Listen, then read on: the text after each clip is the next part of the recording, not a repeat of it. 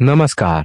इस वक्त की सबसे बड़ी खबर बिहार के समस्तीपुर जिला से आ रही है, जहाँ ज़िले के समस्तीपुर, खानपुर मुख्य मार्ग पर हांसोपुर गाँव के पास, ऑटो व बाइक सवार के बीच हुई भीषण टक्कर में, बाइक सवार युवक गंभीर रूप से जख्मी हो गया, जिसे स्थानीय लोगों ने इलाज के लिए स्थानीय निजी क्लिनिक में भर्ती कराया। जहाँ से बेहतर इलाज के लिए उसे सदर अस्पताल समस्तीपुर रेफर कर दिया गया, जहाँ समस्तीपुर ले जाने के क्रम में, रास्ते में ही उसकी मौत हो गई, जिसके बाद मृतक के परिजन व स्थानीय लोगों ने मृतक के शव के साथ खानपुर समस्तीपुर मार्ग को रेवड़ा चौक के पास जाम कर दिया।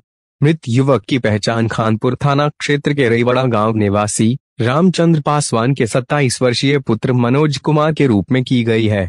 वहीं घटना की सूचना मिलते ही खानपुर थाना अध्यक्ष मोहम्मद फहीम व अबर थाना अध्यक्ष नरेंद्र कुमार जाम स्थल पर पहुँच सड़क जाम कर रहे लोगों को समझा बुझाकर शांत कराया तथा मृतक के परिजन को उचित मुआवजा व इस हादसा में शामिल ऑटो की पहचान कर उसके चालक के खिलाफ उचित कार्रवाई का भरोसा देते हुए सड़क जाम समाप्त करवाने के साथ ही मृतक के शव को अपने कब्जे में लेकर पोस्टमार्टम के लिए सदर अस्पताल समस्तीपुर भेज मामले की छानबीन में जुट गई।